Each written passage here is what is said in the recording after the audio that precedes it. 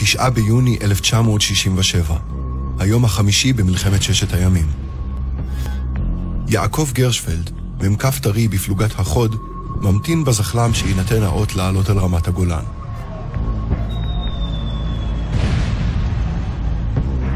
הסורים מפגיזים את העמק ואת מורדות רמת הגולן ממוצביהם שבמרומי הרמה. חיל ההנדסה מפלס באבני הבזלת נתיב צר, שדרכו יוכלו הטנקים והזחלמים של צה"ל לטפס. האות ניתן. הגדוד, ובראשו שבעת הזחלמים של הפלוגה של יעקב, מלווים במספר טנקים, נע בטור במעלה הצר שנפרץ. המטרה? לכבוש את מוצב תל פחר, מוצב מרכזי בשרשרת המוצבים הסוריים, כדי לאפשר לכוחותינו לפרוץ לעומק הרמה. התוכנית? לעקוף את המוצב רכובים על גבי הזחלמים ולתקוף אותו מאחור. תוכנית הקרב משתבשת. השביל הצר מטווח על ידי הסורים. משבעת הזחלמים של פלוגתו של יעקב מצליחים רק שלושה להגיע אל הנקודה שבה צריך לפנות כדי לאגף את המוצב. אולם הדרך העוקפת חסומה על ידי כלים פגועים, ביניהם הטנק המוביל.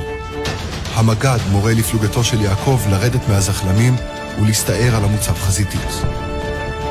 חיילי שלושת הזחלמים מתפצלים לשני כוחות, כל כוח כ-12 לוחמים, ומתחילים בהסתערות רגלית על מוצב תל פחר. יעקב נמצא בראש הכוח בפיקוד המ"פ לכיבוש חלקו הדרומי של המוצב, הנמוך יותר מחלקו הצפוני.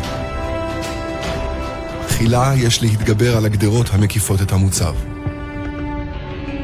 באמצעי פיצוץ הגדרות מתגלה תקלה. אחד הלוחמים חותך את הגדר הראשונה.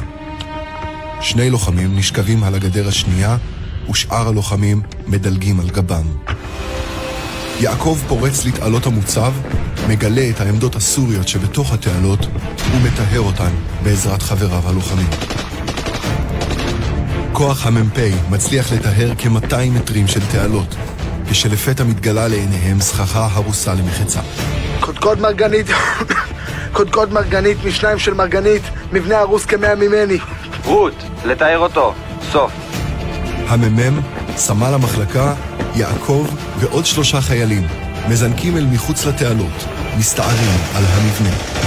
אש תופת מתחת עליהם מחלקו הצפוני של המוצב ששולט על החלק הדרומי.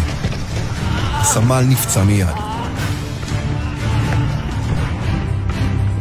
יעקב מנסה לחבוש את סמל המחלקה, כשכדור נוסף פוגע בסמל, שנהרג. עוד שני חיילים נפגעים. המ"מ, יעקב וחייל נוסף תופסים מחסות ומשיבים אש לעבר מקורות העיר. טווח רובי העוזי שבידיהם קצר מדי. האש לא יעילה והתחמושת אוזלת. לחזור לתעלה אי אפשר. אם רק ירימו ראש, יפגעו בהם כדורי הסורים, שנורים מרובי הקלצ'ניקוב בעלי הטווח היעיל. אך, התרסקה לי היד. רד למדרון האחורי. אנחנו נכפה עליך. יעקב והחייל הנוסף מחפים כמיטב יכולתם על המ"מ, שמגיע למדרון ומתגלגל למחסים מתחתיו. לאחר מכן, מחפה יעקב על החייל שנותר. עכשיו רד אתה! תמשיך להתגלגל למטה. יעקב נותר לבדו. אין מי שיחפה עליו. האש הסורית מרוכזת אליו, הוא מבין שהוא חייב לחלץ את עצמו. הוא זוחל כמה עשרות מטרים, מתגלגל לתעלה שטרם טוהרה, ומיד מתגלגל ממנה במדרון, לתעלה אחרת. יעקב רץ לאורך התעלה כשלפתע מופיע מולו חייל סורי. הוא מקדים את החייל הסורי בעשירית השנייה. יעקב לוקח את הרובה של החייל הסורי. כעת הוא יכול לראות ביעילות לטווח רחוק יותר. יעקב מוסיף להתקדם בתעלה ומגיע למדרון התל, שם מתקבצת שארית הפלוגה. הוא מצטרף מיד אל חבריו בפינוי הפצועים. כוחות תגבורת מהגדוד ומהחטיבה ממשיכים בעקשנות בלחימה עד שהתל נכבש. 34 לוחמים מהגדוד והחטיבה נהרגים במהלך הקרב על תל פחר, ביניהם מפקד הגדוד של יעקב. הקרב על תל פחר מהווה סמל לרוח הלחימה של צה"ל עבור הדורות הבאים של הלוחמים. לעשרים מאלו שהשתתפו בו מוענקים עיטורים לאחר המלחמה.